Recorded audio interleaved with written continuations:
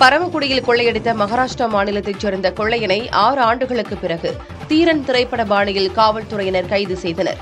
மகாராஷ்டிரா மாநிலத்தைச் சேர்ந்த அனிகேட் ராம்ப்ரோஸ் என்பவர் ராமநாதபுரம் மாவட்டம் பரமக்குடியில் கடந்த இரண்டாயிரத்தி பதினெட்டாம் ஆண்டு கட்டட வேலைக்காக வந்த நிலையில் மருத்துவர் வீட்டில் முப்பத்தி ஏழு சவரன் நகை மற்றும் பன்னிரண்டு லட்சம் ரூபாயை திருடி சென்றதாக கூறப்படுகிறது.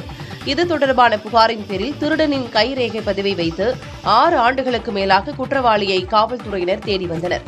இந்நிலையில் ஆதார் கார்டு மூலம் திருடனின் முகவரியை கண்டுபிடித்து சார்பு ஆய்வாளர் வெங்கடேஷ் தலைமையில் ஐந்து காவலர்கள் தீரன் திரைப்பட பாணியில் பரமக்குடியிலிருந்து மகாராஷ்டிரா மாநிலம் அவுரங்காபாத்திற்கு சென்றனர். அங்கு ஒரு வாரம் தங்கி பெரும் முயற்சி எடுத்து திருடன் அனிகுட் ராம்பிரோஸை சுற்றி வளைத்து பிடித்தனர். அப்பொழுது அவர்களுடைய உறவினர்கள் காவலர்களை சுற்றி வளைத்தனர். இதனையடுத்து அவுரங்காபாத் காவலர்கள் உதவியுடன் அங்கிருந்து கார் மூலம் அனிகிட் ராம்ரோஸ் பரமக்குடிக்கு அழைத்து வரப்பட்டார். குற்றவியல் நீதிமன்றத்தில் ஆஜர்படுத்தப்பட்ட பிறகு அவரை ராமநாதபுரம் சிறைக்கு காவல்துறையினர் அழைத்துச் சென்றனர். காவல்துறை வாகனத்தில் ஏறும்போது திருடன் கண்ணீர் விட்டு அழுதார்.